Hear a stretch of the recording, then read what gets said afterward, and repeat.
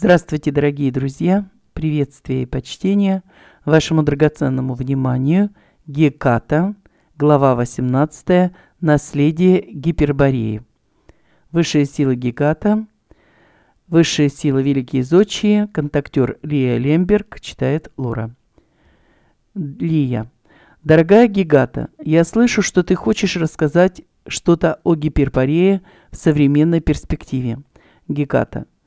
Это так. Внимание и чувства многих из вас сейчас прикованы к событиям, которые происходят на северо-западе Евразийского континента. Вы задаете себе вопрос, что это значит и почему это происходит. Те, кого вы называете ариями, прибыли на Землю из нескольких звездных систем. Большинство из них пришли из системы, которую вы называете Бетельгейзе. По сравнению с вашим Солнцем, Бетельгейзе – это звезда-великан. Процессы, проходящие на ней, оказывают сильное влияние на тех людей, которых связывает с ней общая история. Бетельгейзе – это звезда-великан. Процессы, проходящие на ней, оказывают сильное влияние на тех людей, которых связывает с ней общая история. Бетельгейзе готовится войти в новый цикл, точнее в сверхновый. То, что происходит сейчас с этим звездным телом, вы бы назвали подведение итогов. Арии, другие варианты произношения Ории, Урии, пришедшие с Ориона, являются генетическими предками славянских и индоевропейских народов. У вас существует легенда о стране гипербореев, неких богоподобных людей с севера. Они оказывали влияние на развитие северного полушария Земли, в то время, когда климат в этом регионе был намного более мягким. Вы очень многое унаследовали из принесенной ими высокой культуры. После серии катаклизмов – затоплением территорий, известных вам под общим названием Атлантида, спровоцированной злоупотреблениями при работе планетарными и солнечными энергиями, структуры, которые несли ответственность за эксперимент, решили пригласить в свой проект группу цивилизаций, чья специализация была устойчиво конструктивной. По плану они должны были привести в порядок взбунтовавшиеся стихии, успокоить планетарных духов и способствовать построению нового мира. Они принесли на Землю свой, во многом умеренный, благостный нрав, умение созидать и уравновешивать все, до чего могли дотянуться их руки. Представители их генотипа – действительно были богатырями из ваших славянских сказок. Высокий рост, крепкое телосложение, светло-кудрые красавцы и красавицы, они обладали прекрасным здоровьем и приспособляемостью к любым условиям, так как знали секреты балансировки. Из-за близости к Северному полюсу и специфики магнитной решетки они избрали для своих поселений – северные регионы планеты, так как эти условия способствовали их связи с духовным миром и их космическим домом. Если бы мы описали поочередно сверхзадачи предшествующих им цивилизаций одним словом, то для Лемурии это было бы слово «расширение». Цивилизация, известная вам под общим названием Атлантида, имела сверхзадачу углубления и должна была углубить познание и опыт, расширенный лемурийцами. У Гипербореи была сверхзадача объединения. Они должны были собрать воедино все части великого целого, найденные в процессе расширения и изучения их предшественниками в процессе углубления. Цивилизация следующего – уже начавшегося цикла имеет сверхзадачу – вознесение. Вы понимаете, что во всем этом есть божественная логика и план. На каждую из сценарных сверхзадач отводится определенный временной цикл. К концу цикла подводятся итоги и определяется, решила ли цивилизация свою задачу, независимо от того, было ли найдено решение или нет. Цикл завершается, и ведущая его цивилизация уходит со сцены, передавая эстафету следующей группе. То, что вы сейчас наблюдаете, это отчаянная попытка решить сверхзадачу объединения. По иронии судьбы, конфликтующие стороны являются генетическими потомками одной и той же расы. По сути, они близнецы, большинство из которых даже говорит на одном и том же языке. Выполнили ли свою сверхзадачу вожди Атлантиды? Отчасти. Но, к сожалению, по мере своего углубления в изучение законов и механизмов мироздания они не заметили, как стали терять равновесие. Итогом стала катастрофа. Уходя в тень, цивилизация не покидает площадку, но обязуется передать бразды правления. Это закон, но, как и многие другие законы, его можно попытаться нарушить. Атлантида передала эстафету активной деятельности группе гипербореев, но не перестала оказывать влияние на развитие сценария. Под разными предлогами были сохранены инструменты, в том числе и опасные. Таким образом, гипербореи достался в качестве сценария не чистый лист, а черновик Атлантиды.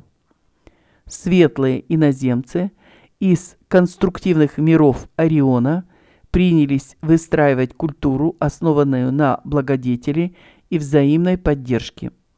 Трудолюбивые мастера-строители, художники, певцы и поэты дарили радость творения всему, что их окружало. Они прекрасно справлялись, гордо решив, что нейтрализуют ядовитое наследие, которое им оставили нечистоплотные предшественники. Но они недооценили опасность отравления.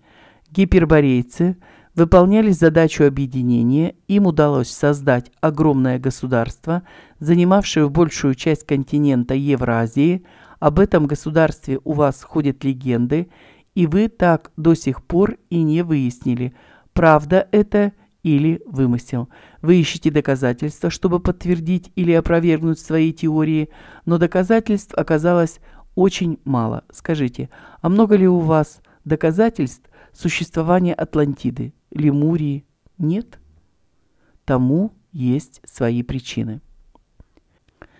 Прежде чем вытаскивать на поверхность правду, зарытую глубоко под землей, вам нужно задаться вопросом, как она туда попала и почему. Почему эти могучие культуры каждый раз оказывались буквально стерты с лица Земли. Никто не стирает цивилизации с лица Земли просто так.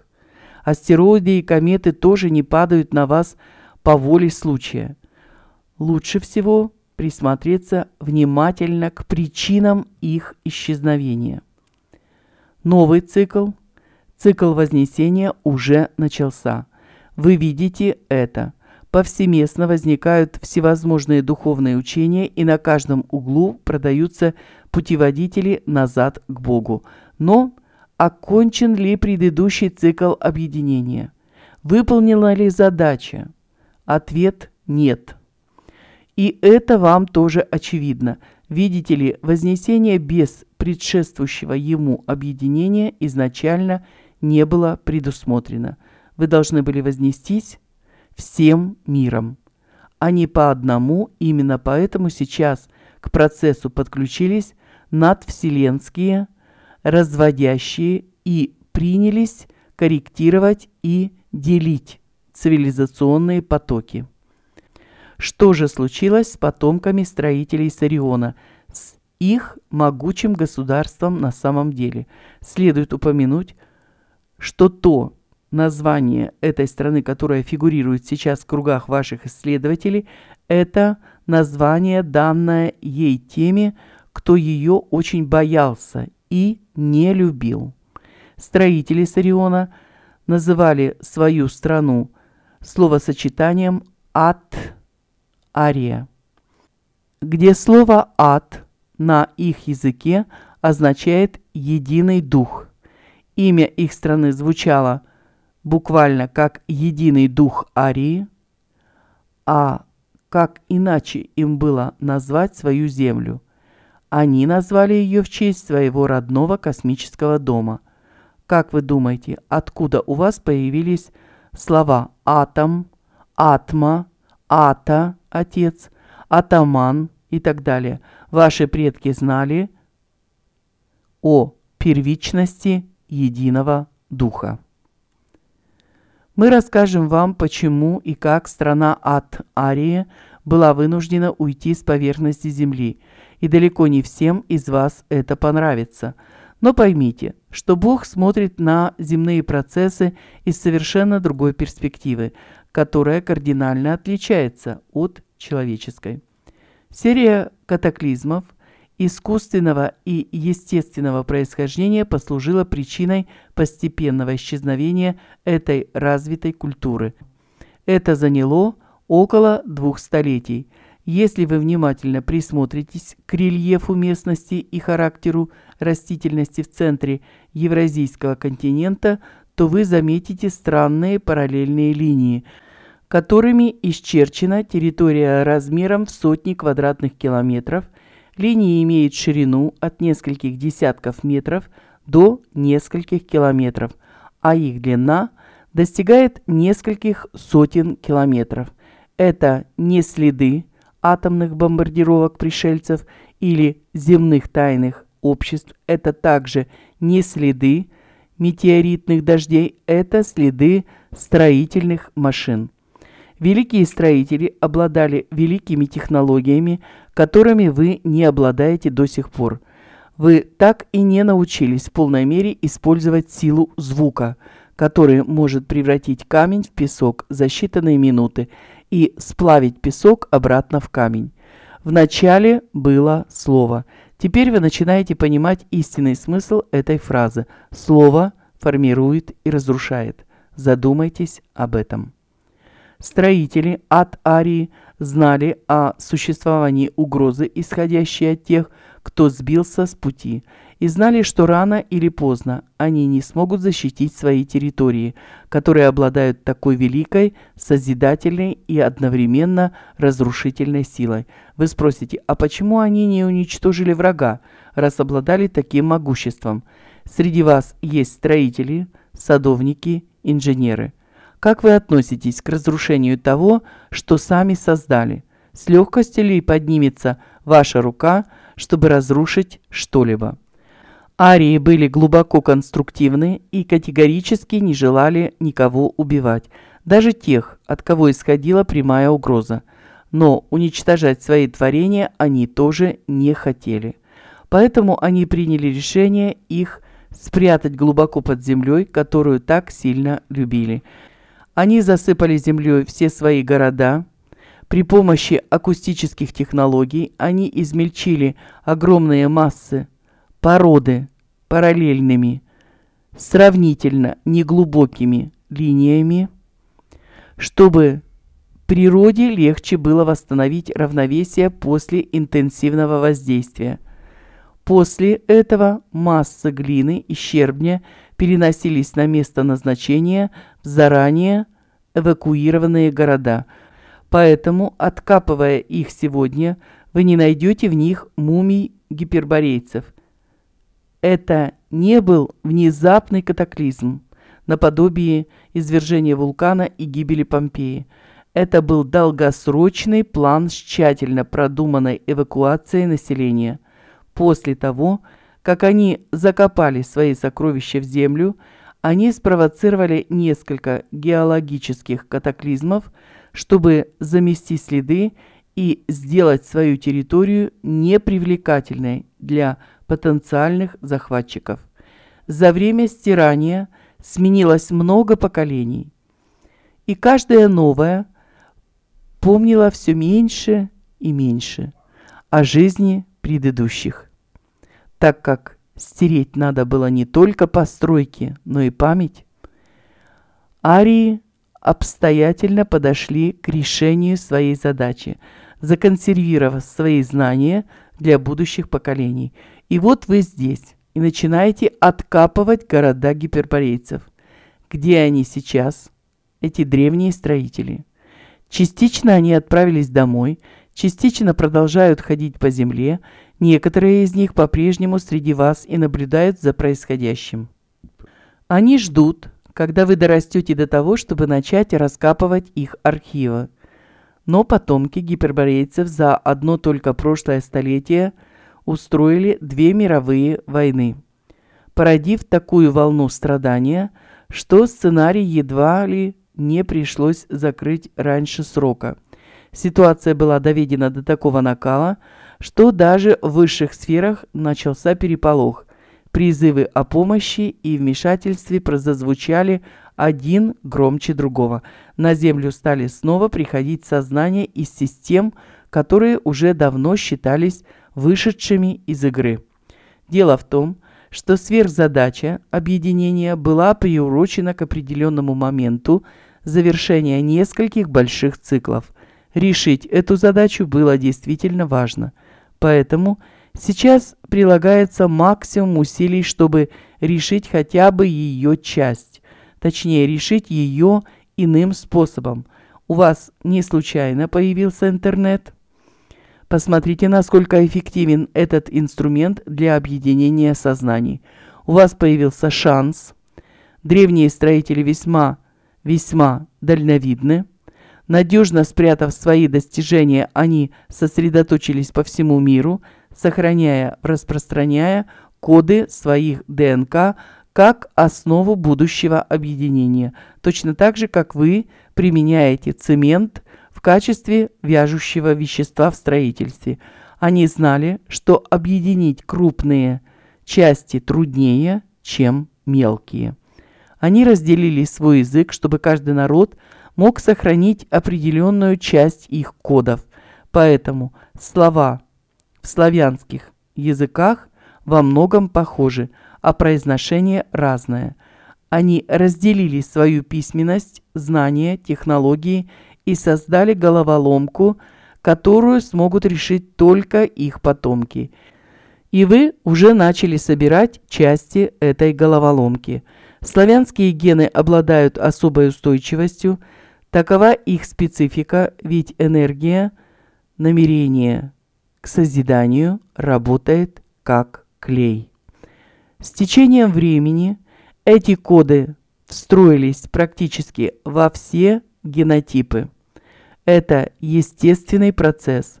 Вы можете ему противостоять, только если будете тщательно преследовать цель абсолютной изоляции своей генетической линии.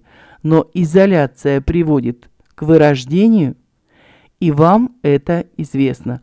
Кроме того, мужчины со слабым генотипом в принципе не способны – противостоять привлекательности женщин, обладающих славянскими корнями. Они не виноваты. Это встроенный механизм, как было задумано. Жена-славянка издавна была чем-то вроде символа статуса для многих правителей. Владыки обладали информацией на этот счет. Вы спросите, а что дальше? А дальше – вам придется работать над тем, чтобы довести до конца несколько незаконченных сценариев и увенчать эту работу планетарным вознесением, которое должно пройти по плану под руководством следующей золотой расы. Лия, благодарю за информацию, дорогая сестра.